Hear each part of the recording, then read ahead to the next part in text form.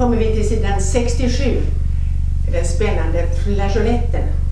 Erika, nu ska vi göra ett litet fysikexperiment här med repet. Ja, Håller du alldeles stilla ditt rep där i magen okej. så ska vi se vad som händer.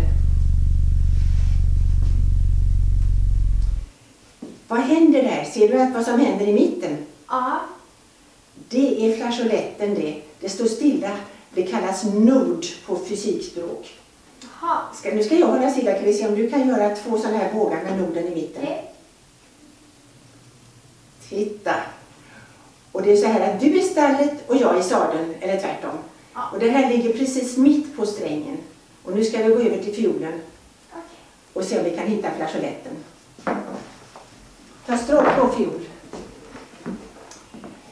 Ska vi se. Den ligger, här har vi sadeln och här är stallet och ungefär mitt på. Och du ska bara nudda strängen med lillfingret. Och så stad... Ja! Stadig stroke. Ja, kan du spela så här nu? Lyssna.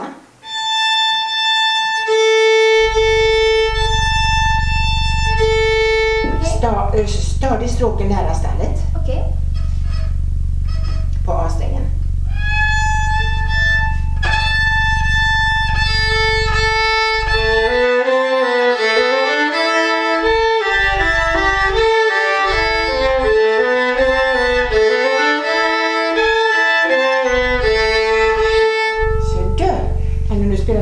Också? På flageoletten på A så lösas E-strängen.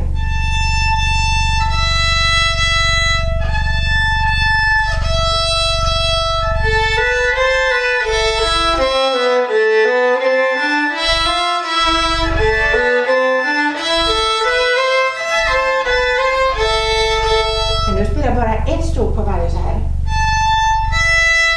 Låter som ambulansen.